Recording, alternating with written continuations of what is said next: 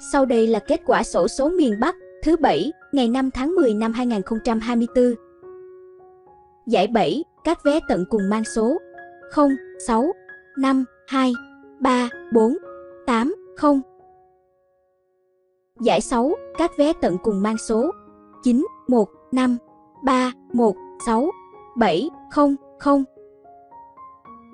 Giải 5, các vé tận cùng mang số 6040, 2317, 7815, 5371, 8575, 5830. Giải tư, các vé tận cùng mang số 0024, 6626, 3981, 1707.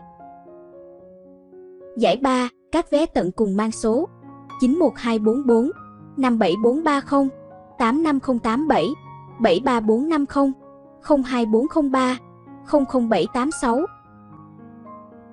Giải nhì, các vé tận cùng mang số 95972 27781. Giải nhất, các vé tận cùng mang số 50480.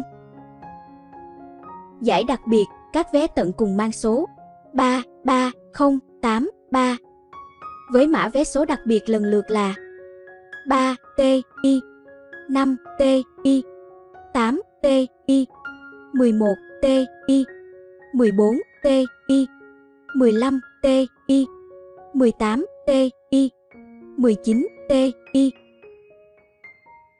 Kênh sổ số 3 miền, kết quả sổ số hôm nay, xin chân thành cảm ơn quý vị và các bạn đã theo dõi kết quả sổ số ngày hôm nay. Nếu thấy thông tin đáng chú ý, hãy bấm nút đăng ký và ấn phím chuông để nhận được thông báo cập nhật kết quả sổ số mới nhất. Và đừng quên bấm nút thích bên dưới để ủng hộ kênh phát triển hơn. Chúc mọi người sẽ được thần tài gõ cửa trong một ngày gần nhất. Mến chào và hẹn gặp lại!